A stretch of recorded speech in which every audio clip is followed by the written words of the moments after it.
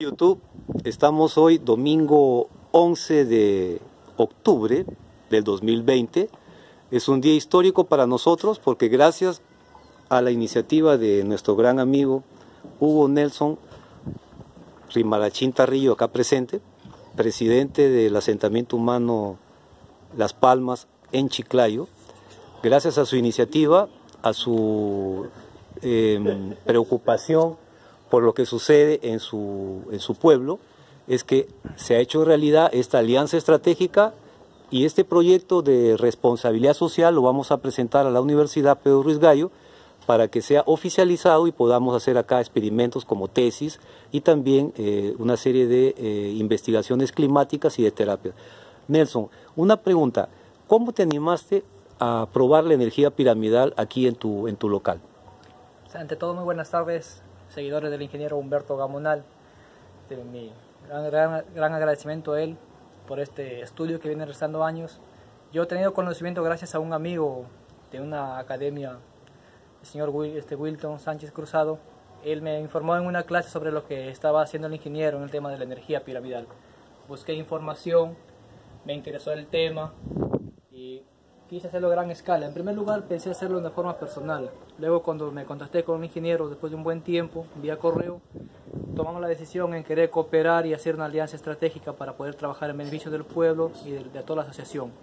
Gracias a ello, después de un gran esfuerzo y gran este, experimento que estamos haciendo acá, hemos concluido con la obra. Estamos totalmente tranquilos y esperemos sacar gran, gran provecho y gran apoyo para la humanidad porque este es nuestro gran fin, todos tenemos acá un fin que es apoyar y ser útiles para la sociedad. En ese plan estamos trabajando. El día de hoy has probado por primera vez el agua piramidal para los ojos. ¿Cuál es tu, tu opinión? ¿Qué, qué, qué, puedes decir a todos los, a todos los este, amigos que nos siguen sobre el agua piramidal, especialmente para los ojos el día de hoy? Ya.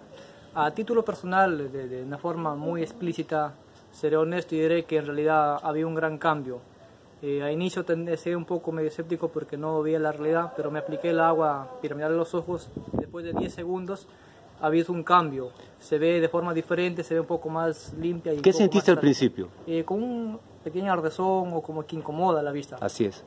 Usted me, comentó que era algo de contacto infectado, estaba... Cuando, la, cuando el ojo o cualquier célula del cuerpo está este, enferma, en realidad está ácida y con poco oxígeno. El agua que ustedes ven ahí está dentro de una pirámide, ahí, ahí está lleno de burbujas ahorita, por ejemplo, se está llenando de burbujas debido a la energía, y van a ver ustedes que tiene eh, un, un recipiente de cobre arriba y otro recipiente de cobre abajo.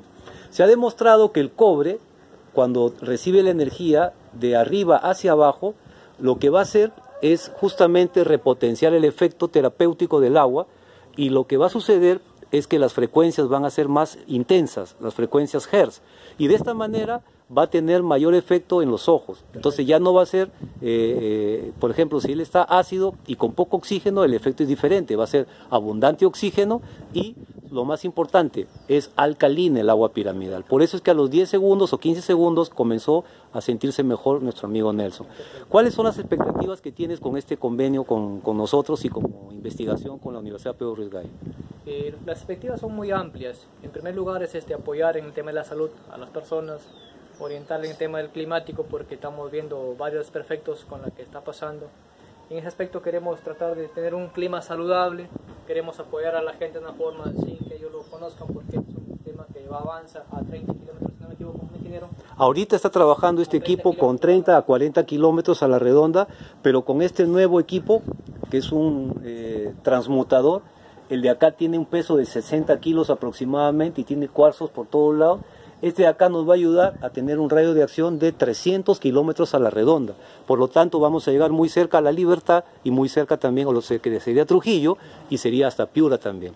Entonces, este, bueno, esa es una de las cosas importantes, ¿no? Y para que los amigos conozcan estas bondades también. Claro, las expectativas es también tener un, estilo de vida más saludable con la gente que quizás vamos a orientar. De antemano les hacemos una gran invitación.